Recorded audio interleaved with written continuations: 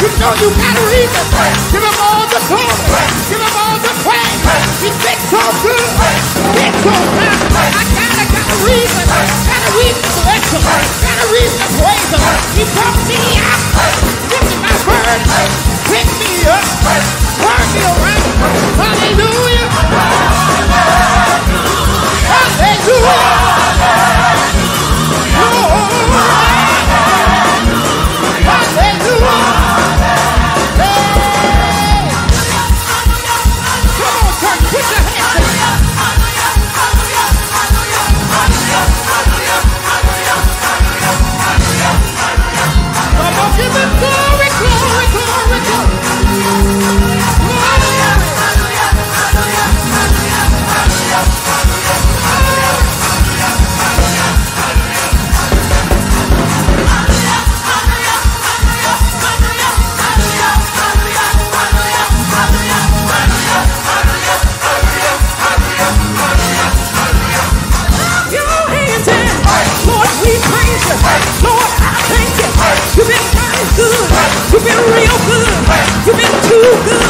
No!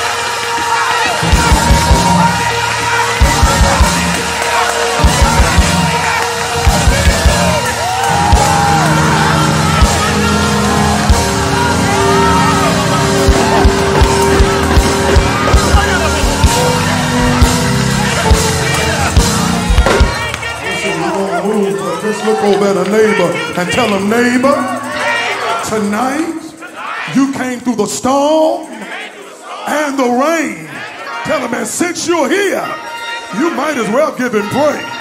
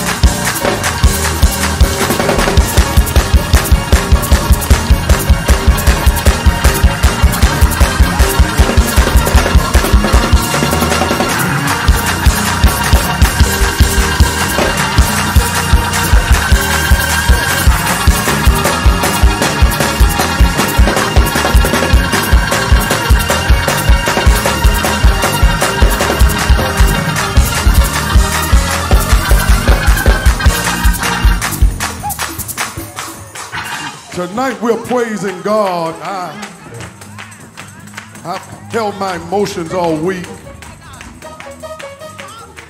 When I left home on Monday, my father had been admitted to the hospital. Infection in his body. I walked into his hospital room.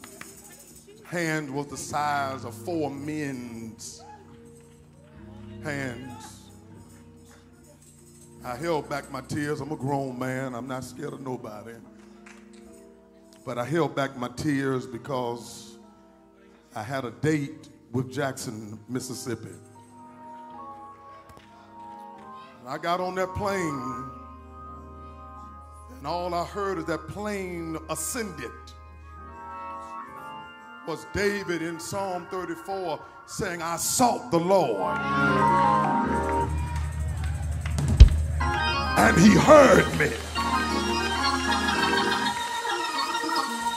Just look at somebody and tell him he just heard you.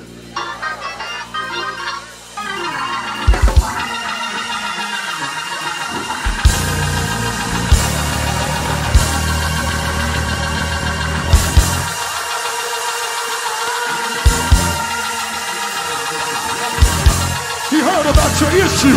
He heard about your challenge. He heard about your health. He heard about what's been pressing you. Somebody say, God just heard me.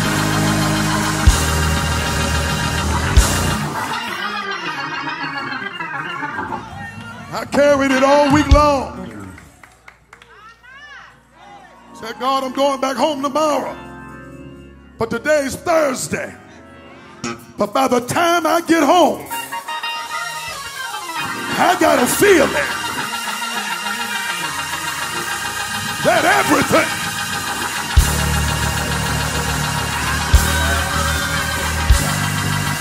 is going to be all right.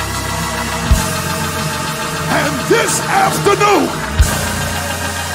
after the saints prayed all week, at about one o'clock in the afternoon, I got a telephone call. He's on his way home. I just stopped by the men's conference to tell about 500 of you that God heard you. He heard you. He heard you. He heard you. He heard you. And as you shout, by the time you get home, just lean on somebody and tell them everything, everything, everything, everything, everything, everything. What the devil meant for evil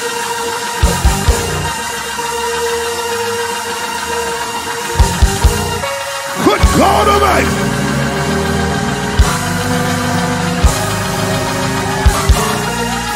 So I had to come in the thunder. I had to come in the rain because some through the water, some through the, some through great trials, but all through had to be here tonight